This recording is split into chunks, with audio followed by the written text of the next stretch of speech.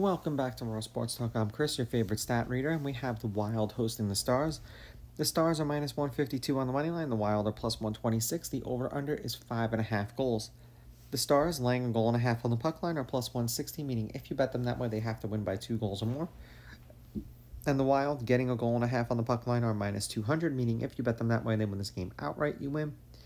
They lose by one goal, you win. These are the overnight odds. They're going to change the closer we get to puck drop tomorrow.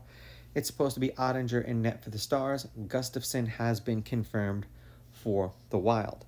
Head to head, which means when these two teams play each other, the Stars are 7 and 3. The Stars are on a six game winning streak against the Wild. The home team is 5 and 5. The favorite is 5 and, on a five game winning streak on the money line. The favorites won the last five games they played against each other. The favorite is 8 and 2 on the money line. The favorite winning by multiple goals is 7 and 3. There have been three one goal games in their last 10. The under is 5 4 and 1. And the under at 5.5 goals is 6 and 4. They have not played each other yet this season.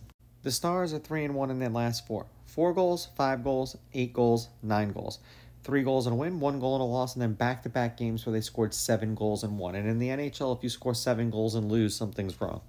And the Wild are also three and one. Seven goals, seven goals, three goals, three goals. Five goals and a win, five goals and a win, one goal and an overtime loss, and then three goals and a win. So the question is, are we going to get both of these teams exploding offensively, or are we going to get the normal games that we get when these two teams play each other? I am going to take the Stars with the money line. I will take the Stars laying the goals. I'm going over in this one. I think they both can score. These are just my picks. If you disagree, please go with your gut and please bet responsibly.